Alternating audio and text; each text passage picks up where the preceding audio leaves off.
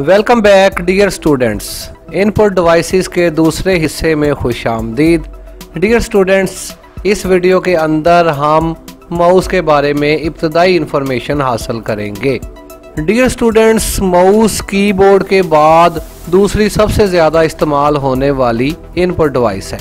Mouse को 1964 में Douglas इंगलबर्ड नामी एक इन्वेंटर ने इजाद किया।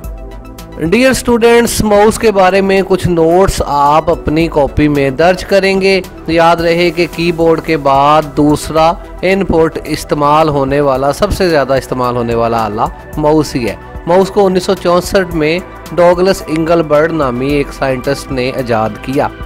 इन्होंने माउस को जब ईजाद किया तो इन्होंने माउस को एक लकड़ी के बॉक्स की मदद से ईजाद किया। डॉगलस इंगलबर्ड जो है इनके बारे में कुछ मालूम दर्ज कर लें। डॉगल सिंगल बर्ड जो है, वो 30 जनवरी 1925 को अमेरिका के शहर पोलैंड में पैदा हुए। डॉगल सिंगल बर्ड 2 जुलाई 2013 में अमेरिका के ही एक शहर कैलिफ़ोर्निया में इन्होंने जो है वो वफात पाई।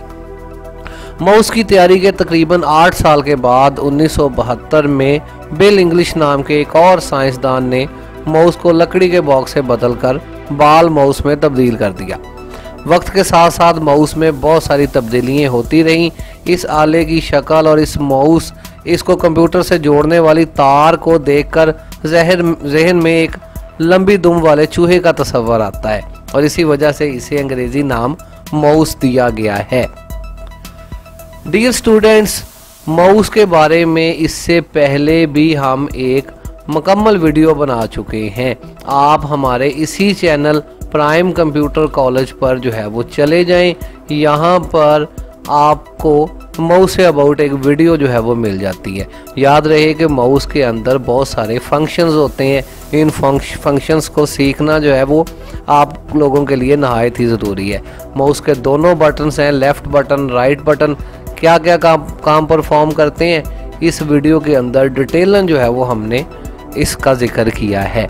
तो रिकमेंडेड किया जाता है कि इस वीडियो को देखने के बाद आप कंप्यूटर माउस इन्फॉर्मेशन की हमारी इस वीडियो को मुकम्मल तौर पर देखेंगे, जिसमें हमने माउस के जो है वो लेफ़्ट क्लिक क्लिक के जो है वो फ़ंक्शन बयान किए हैं, जिसमें सिंगल क्लिक जो है वो सिलेक्शन वगैरह की जाती है। डबल क्लिक की दो किस्में हैं, जिसमें जो है वो प्रोग्राम को ओपन किया जाता है प्रोग्राम को रीनेम किया जाता है, फिर ट्रिपल क्लिक है इसी बटन से, जिससे जो है वो पैराग्राफ को सिलेक्ट किया जाता है, फिर ड्रैग एंड ड्रॉप है मार्क्यू है माउस की मदद से, फिर स्पेशल क्लिक है। इस तरह के बहुत सारे फ़ंक्शंस माउस के बटन परफॉर्म करते हैं। इस वीडियो के अंदर जस्ट हमने इसकी हिस्ट्री या इस पर जो है वो बेसिक बुनियादी बातें हमने की हैं। तो आप इसके बाद ये वाली वीडियो जो है वो रिकमेंडेड आप इसको चेक करें। अगर आपने अभी तक हमारा चैनल सब्सक्राइब नहीं किया तो आपसे गुजारिश है कि हमारा चैनल सब्सक्राइब कर लें ताकि आने वाली वीडियोस के नोटिफिकेशन आपको मिलते रहें। तो डियर स्टूडेंट्स फ़िलहाल के लिए मोहम्मद अजीम को इजाज़त दीजिए।